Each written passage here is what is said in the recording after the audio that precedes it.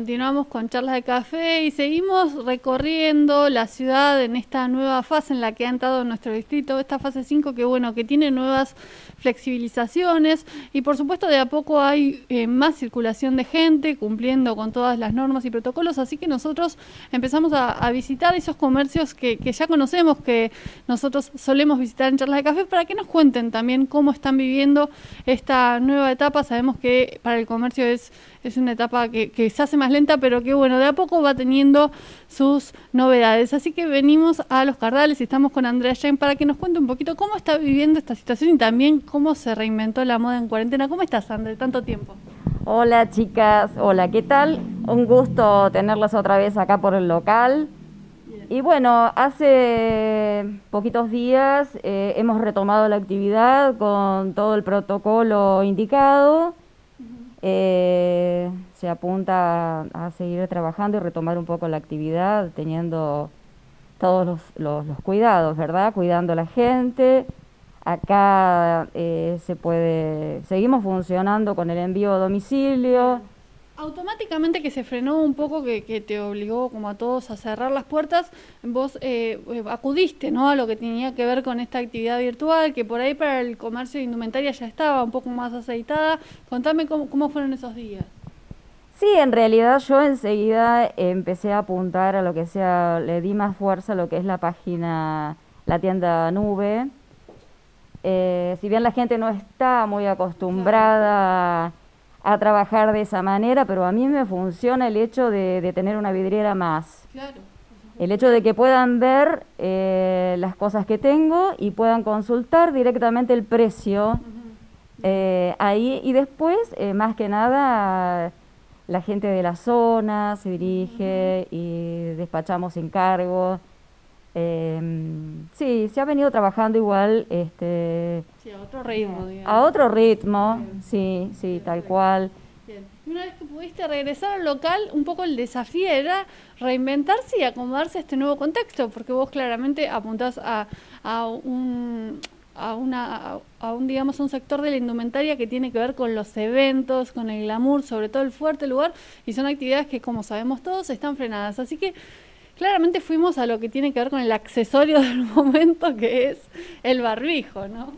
Y sí, este, digamos que nadie estaba preparado con que la, tendencia iba a ser... Eh, eh, que este iba a ser el nuevo accesorio no lo pudo predecir ni el más tendencioso de los tendenciosos. Sí, sí, que este va a ser, iba a ser este, la tendencia de este, de este, de este invierno, taparnos la cara de esta forma, ¿no? Y estar tan alejados de los afectos.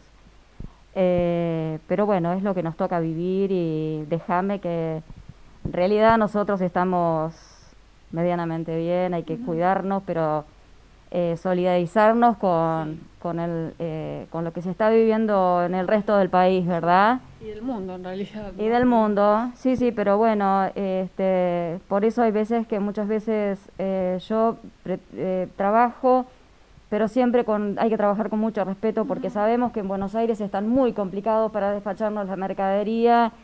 Y bueno, eso esto es un ida y vuelta, es un respeto de ellos por seguir el abastecimiento y nosotros por entender la situación que ellos están viviendo, de no, no, los empleados realmente no pueden llegar a su, a su trabajo y muchas veces no pueden cumplir con los despachos. Esa es la realidad que se está viviendo hoy, que bueno, este, realmente se ha tornado un poquito inmanejable. En Buenos Aires está bastante complicado, sí. Bueno, vos tenías a algunos de tus hijos allá, pudieron rápidamente venir, estaban acá, ¿cómo viviste? No, en realidad ellas, este, en cuanto supimos lo que estaba pasando en el exterior, las fuimos a buscar. Y las facultades de ellas están haciendo su, eh, eh, o sea, la conexión vía online, están siguiendo con las carreras, o sea que en ese sentido no se han atrasado para nada. Lo primero es la salud y bueno, este, valorar también eh, el hecho de la edad de ellos, que están en una edad en que por ahí, eh, bueno, nosotros, para nosotros ha sido una cosa movilizante todo esto, porque bueno, no hemos vivido nunca una situación así. A la edad de ellos, que tanto los afectos y los, los amigos es, una, es la base de, de, incluso hasta para estudiar, se juntaban para estudiar, el compartir cosas con amigos, que es la base de, la, adolescencia, este, es el, eh, el, compartir con amigos y el hecho ahora de estar tan alejados de, los afectos, si bien, bueno, hoy en día se puede... Este, hay más flexibilización, pero igual se llama un poco el sentido común de no, no relajarse del todo, ¿no? Al menos en lo local que no tenemos casos, pero tiene que ver con la buena conducta. Claro, yo creo que sí, que sí, que podemos estar bien, pero si todos ponemos nuestro granito de arena de seguir este, con los protocolos de cuidados, de no relajarnos, de seguir informándonos de lo que está pasando en el país y en el mundo y de que esto puede llegar a tener un cambio inmediato. Entonces, este, acá, por ejemplo, se prueba la ropa o la prueba que se envía a domicilio pasa toda por un, eh, vapor eh, sanitizante. sanitizante. Sí, sí, sí, sí. O sea que acá pueden venir tranquilas porque saben que la ropa que está colgada si, se ha, si ha sido probada, se aísla la ropa y se pasa por vapor. Hace cuarentena, todos a cuarentena. Los libros hacen cuarentena hoy en día, la ropa Pero la forma más rápida es pasarla por eh, un vapor sanitizante y lo mismo la ropa que si se manda a domicilio, la que viene, se envía en condiciones y después se cuelga la ropa ya eh, en condiciones para que se vuelva a ser probada.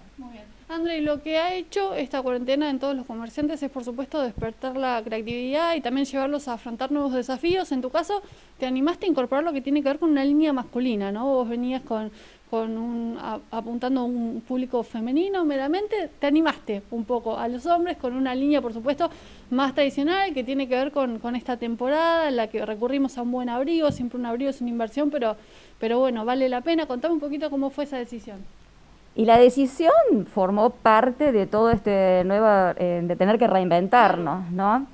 Acá veníamos en el local, si bien yo trabajo una línea preta porté, la parte de fiesta es el fuerte, en la ciudad y en la zona. Eso, bueno, eh, como es sabido, se desapareció todo y no sabemos por cuánto tiempo, lamentablemente.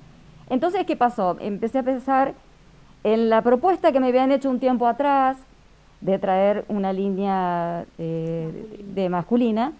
Y bueno, este, fue así, eh, hablé y inmediatamente sí, eh, me lo ofrecieron y bueno, este, para el Día del Padre ya, ya pudimos tener este, el stock de esta marca y bueno. ¿Se animan los hombres? ¿Vienen? Sí, sí, los hombres vienen, pero la mujer es la que... Viene, ve, dice, yo le llevo la campera. No, normalmente pasa que el hombre este, tiene que salir y lo que tiene este, tiene todo, o sea, la mujer es la que viene, ay sí, porque no tiene una camisa en condiciones, ay sí, porque el jean lo tiene regastado, la campera y bueno. Estamos pendientes de esos detalles, claro. La mujer es la que sale a, a resolverle esa, esa situación. Pero bueno, no, el hombre sí, porque incluso acá este, muchos hombres vienen a comprar los regalitos para ellas. Y bueno, es un ida y vuelta. Es un ida y vuelta, sí, sí, sí, sí. Y por supuesto, bueno, eh, como bien decíamos, ya todo lo que tiene que ver con, con esas salidas de glamour y demás está eh, un poco frenado, pero nos gusta seguir vistiéndonos y acá el glamour se lo podemos dar a los abrigos en esta temporada. Y sí, este, en esta temporada lo protagonista ha sido los abrigos, sí. Mucha piel.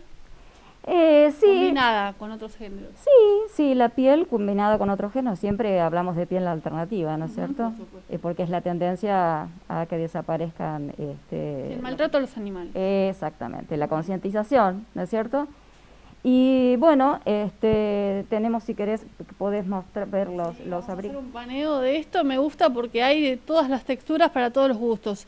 Hay cosas más clásicas, hay lana, está, bueno, esto que no, no pasa de, moda, esta tendencia. La realidad se apuntó a eso, a traer prendas versátiles y, no, y que urbanas. la gente pueda tener, comprar un abrigo. Estamos viviendo una situación que puedan, claro, una situación crítica que hay que ubicarse y si pueden te podés dar un gusto, pero eh, realmente son eh, prendas con calidad que te duran por años. O sea que haces una inversión y te duran por años.